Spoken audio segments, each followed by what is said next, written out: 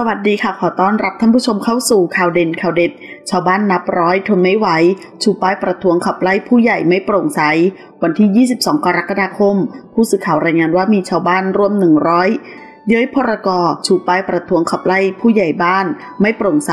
สืบเนื่องจากเมื่อเวลา 10 นาฬิกาวันที่ 25 มิถุนายน ที่สาระอเนกประสงค์วัดศรีสะอาด บ้านหนามแท่งหมู่ที่ 7 ตำบลด่านซ้ายอำเภอด่านซ้ายจังหวัดเลย มีชาวบ้านกว่า 100รายออกมาขับไล่นายสมพร นนทโคตผู้ใหญ่บ้านหมู่ที่ 7 บ้านหนามแท่งนำเงินกองทุนหมู่บ้านจำนวน 5 0 0 0 0 0 บาท ไปใช้ซื้อปุ๋ยจำนวนหนึ่ง และให้สมาชิกกองทุน 31 ราย ปล่อยกู้ รวมเป็นเงิน 4 0 0 0 0 0 บาท และกองทุนอื่น ๆ ไปใช้ผิดวัตถุประสงค์ และขอเลือกตั้งประธานกองทุน และคณะกรรมการใหม่ทั้งหมด ส่วนผู้ใหญ่บ้านไม่สะดวกให้สัมภาษณ์ มาวันนี้ที่หน้าว่าการอำเภอด่านซ้ายจังหวัดเลย นางสาววรุณี เชื้อมีบุญอายุ 42 ปี ตัวแทนชาวบ้านพร้อมด้วยชาวบ้านร่วมกว่า 100 คน ถือป้ายขับไล่นายสมพรนันทโคตผู้ใหญ่บ้านหมู่ที่ 7 ข้อความว่าผู้ใหญ่บ้านไม่โปร่งใส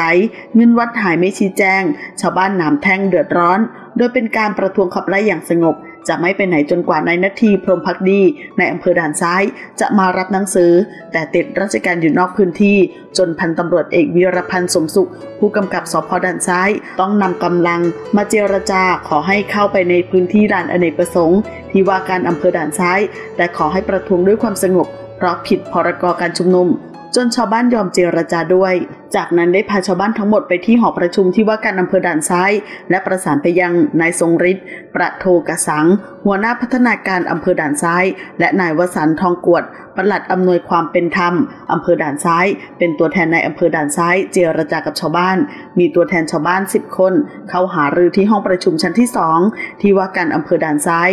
นางสาววรุณี ตัวแทนชาวบ้านกล่าวว่า วันนี้ชาวบ้านมาเรียกร้อง ความไม่เป็นธรรมของผู้ใหญ่บ้าน ความไม่โปร่งใส เอาแต่พักพวกของตนเอง ชาวบ้านเรียกร้องขับไล่ผู้ใหญ่บ้านมา 3-4 เดือนแล้ว แต่ก็ยังไม่จบสักที มีหนังสือจากศูนย์ดำรงธรรมจังหวัดเลย ศูนย์ดำรงธรรมอำเภอด่านซ้าย มีการตรวจสอบและตัดสินมาแล้วว่า กองทุนแม่นำไปใช้ผิดประเภท ให้ผู้ใหญ่บ้านนำเงินมาคืน เงินกองทุน กทบตัดสินมาแล้วใช้ผิดประเภทให้นำมาคืน เอาเงินกองทุนไปปล่อยดอกเบี้ยร้อยละสามให้พักพวกของตนเอง เป็นเงินกว่า 4 0 0แสนบาท หน่วยงานที่ร้องเรียนไปก็ไม่ดำเนินการจัดการให้ชาวบ้านสักที ปล่อยผ่านไป โดยบอกว่าให้คืนแล้วก็จบ แต่ชาวบ้านต้องทนทุกทรมานมากว่า 4 ปีแล้ว เงินวัดประชุมหารือกันแล้ว 4 รอบ มีเจ้าคณะตำบลรองเจ้าคณะอำเภอ ก็ยังตัดสินไม่ได้ ผู้ใหญ่บ้านทำเงินวัดหายไปกว่า 2 0 0 0 0 0 บาท ก็อธิบายไม่ได้ และก็ไม่ชี้แจง ชาวบ้านยื่นหนังสือที่ศูนย์ดำรงธรรมที่จังหวัดไปก็ไม่มาแล้ว มีคำตัดสินมา ทางศูนย์ดำรงธรรมชี้แจงว่าตอนนี้ตักเตือนไปแล้ว ขอให้มีความผิดอีกหนึ่งรอบก่อน ถึงจะตั้งคณะกรรมการสอบสวนนายวสันทองกวดปลัดอำนวยความเป็นธรรมอำเภอด่านซ้าย ตัวแทนในอำเภอด่านซ้ายเปิดเผยว่า ในการรับฟังปัญหาชาวบ้าน ทราบว่าต้องการให้ผู้ใหญ่บ้านลาออกจากตำแหน่ง แล้วเลือกใหม่ทำงานไม่โปร่งใส